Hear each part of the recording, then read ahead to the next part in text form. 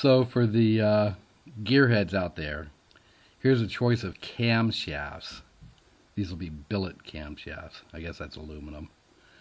And uh, obviously we'll have to do some stuff with the valve springs and all that kind of stuff.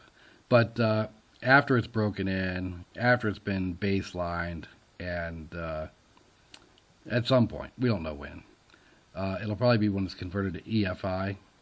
Uh, we're going to change the cams out. Now, I've contacted the manufacturer of these cams. These are for Vanguard 23 horsepower Briggs & Stratton engines and said, which one of these definitely should not even be considered? Instead of telling me which one to use, tell me which ones don't, not to use. Uh, so keep in mind, we're going to be naturally aspirated EFI in the beginning, and we may turbo or supercharge this thing. Uh, I told the manufacturer that we could run as high as 5,000 RPM, but I doubt it. Probably going to limit it to uh, 4,400.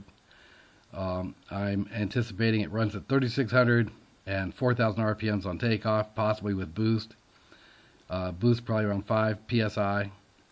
And uh, we also want to have the option to maybe boost it at 3,000, 3,200 with 2 psi or something like that. So, uh, you know, keep that in mind because it's possible with boost to run it at a lower RPM that it can maintain altitude and then boost it.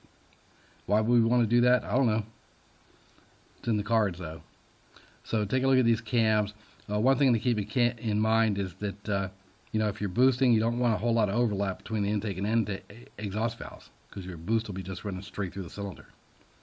So that's why you want to keep in mind that it could get boosted. But uh, which one of these cams should we select? Take a look at them.